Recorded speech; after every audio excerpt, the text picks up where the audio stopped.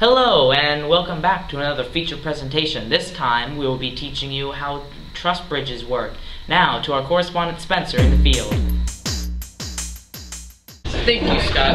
Now I'm here at Dublin Coffman to tell everyone about how trusses work. And I'm here and I interviewed some people and asked them about their bridges. Let's go meet them. So I'm here with Mr. Allmendinger, the commissioner of the World Bridge Building Championships. And tell me, what is this project all about? Like, what are we doing?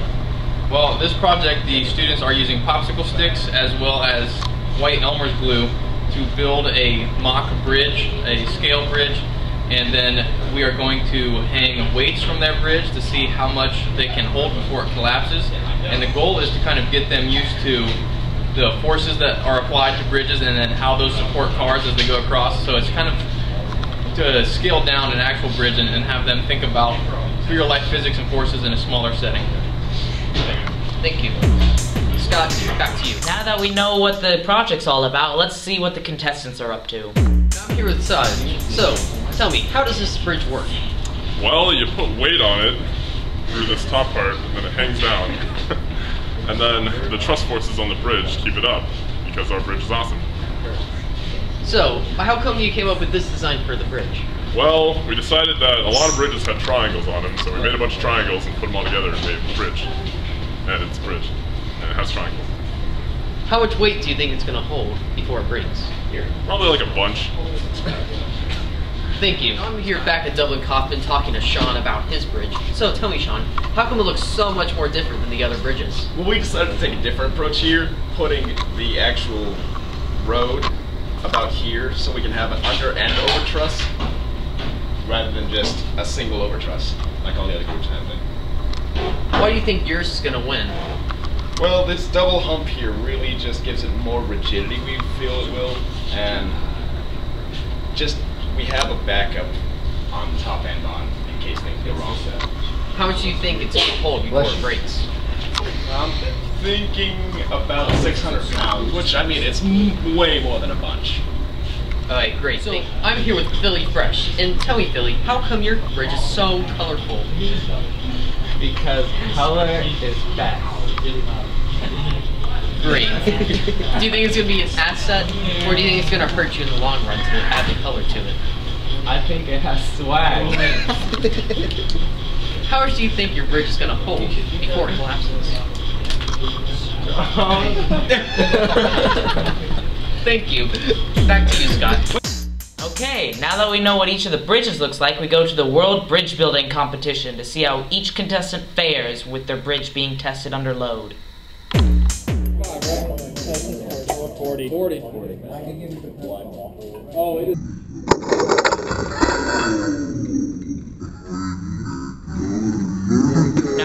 Saw, that bridge didn't withstand much force, breaking at only 35 pounds. Let's see what the science is behind that.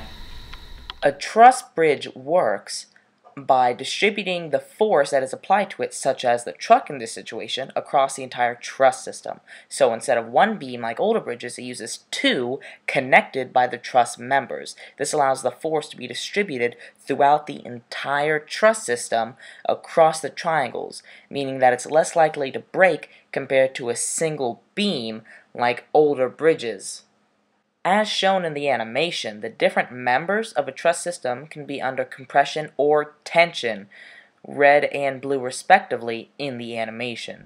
When a truss is under tension, it's being pulled, and compression means it's being pushed together. Now, different materials can handle these two forces differently, which allow truss bridges to be very versatile in how they handle the forces applied to them. So now we know how the bridges work, let's see some more successful ones.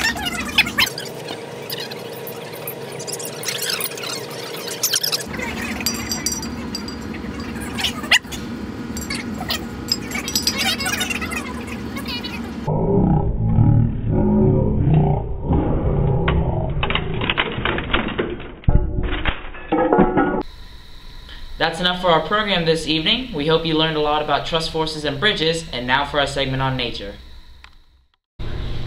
Oh, hello. I didn't see you there. Welcome to Design.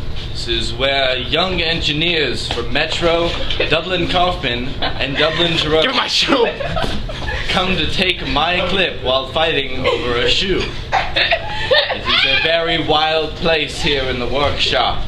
One takes great caution while treading this terrain. Over here we can see a wild Sean Manley oh. attempting to get his shoe back. He has managed to get it, but Emily, the vicious predator in this situation, is attempting to steal it back and makes it a successful attempt. Back to you, Scott.